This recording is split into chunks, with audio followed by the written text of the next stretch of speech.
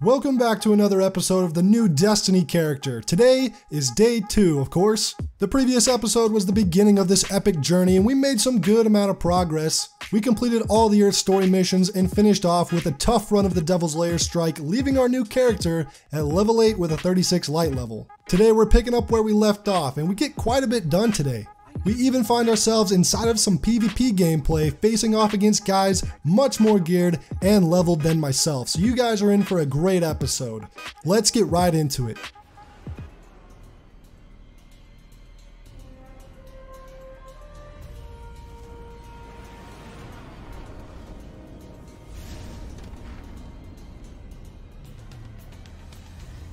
Long before our return to the moon in Shadowkeep, we originally came here six years ago to learn more of Crota, son of Oryx, and eliminate the threat of his followers. After defeating Devil's Lair as a two-man team and getting some decent upgrades, Huge and I were more than prepped for what awaited us on the moon. Whew. Man, do you guys miss Sparrow Flips as much as me?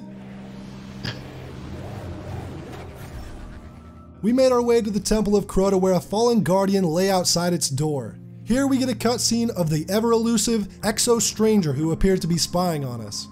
But then our attention quickly turns back to the door and here we play one of the most infamous Destiny lines in history. We've woken the hive. Alright, that was weak. Where's my man Dinklebot? We've woken the hive. Now that's more like it. Dinklebot's delivery of this line is so much better than the Nolan North version. Dinklebot wasn't perfect, but man do I miss him sometimes.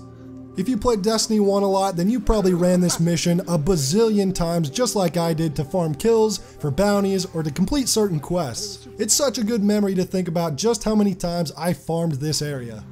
But just like that, the mission is over. Nice. Alright, I'll shoot nothing back to the tower because in Vanilla's story, every mission forced you to go back to the tower after completion. But here we picked up some quests and the speaker tried to be a little cheeky and give me a spark of light, but I quickly turned down his offer to boost up my light level because that would destroy the entire spirit of this series. Spark of light? Again? No, I don't want to use it. Don't accidentally use that spark of light, bro. That's cheating. But now that we're back to the moon, it was time to slay some more Hive.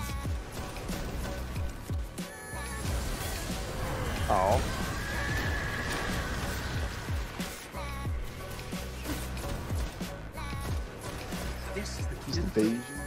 There's just something about this game that feels more eerie and more intense in its gameplay than Destiny 2. Ah, sound effects, dude. Something about this game, dude. There's so much. They've broken the Beaconscan limit. Even with its overall simplified mission design, it just had a real sense of fear and weight to its world that emanated very well through the gameplay that Destiny 2 just hasn't been able to replicate. Slowly but surely, our character was becoming more powerful. Before Crota, there were the Swarm Princes, and this mission was the first time we got to use the Sword of Crota for ourselves. Next, we would dive deeper into the Temple of Crota to slay some Siphon Witches who were attempting to devour the Traveler's Light by using one of its own shards. The Witches and the Ogre did not stand a chance though against us. Ogre? Yeah, Ogre. Nope. Nope.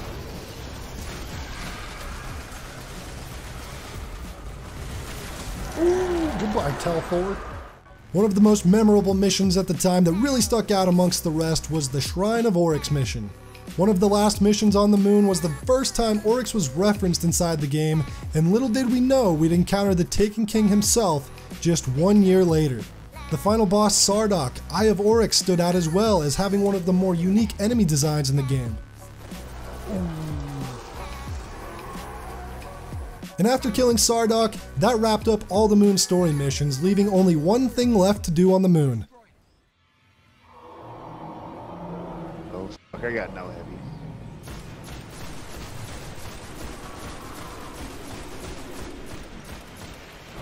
Before Shadowkeep and the reintroduction to Phogoth as a nightmare, in Destiny 1, players would probably still consider Phogoth to be a nightmare. He was truly scary to fight in Destiny 1, causing your screen to shake violently when you were near him. The whole atmosphere and build-up of this ogre being chained down and breaking free was so epic, and in Destiny 2 as a nightmare, didn't quite capture that same sense of fear and intensity that the first game did. I shouldn't have tried to get off both my melee and my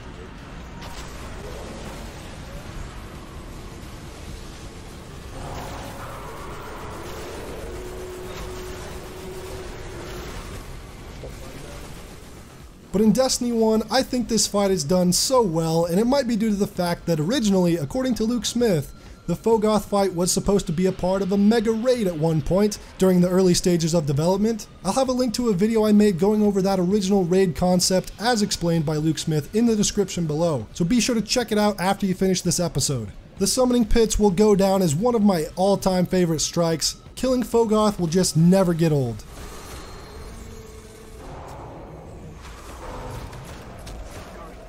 Come on. there it is. Ran him with a shotgun. Like, this is gonna... Some good loot, dude. After Phogoth, we ended as a level 12 at 67 light, but we weren't quite done with day 2 yet. Even though I was a lowly level 12 with very basic weaponry, I wanted to hop inside the Crucible and see if we could make it work. And I'll tell ya, I was not expecting the game to go like this.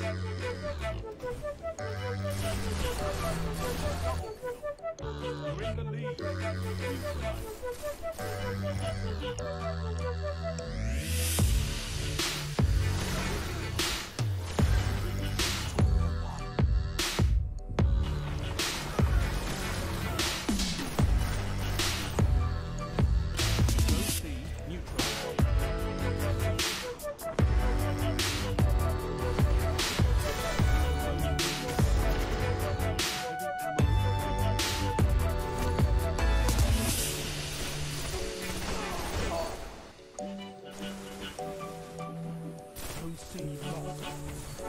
Victory.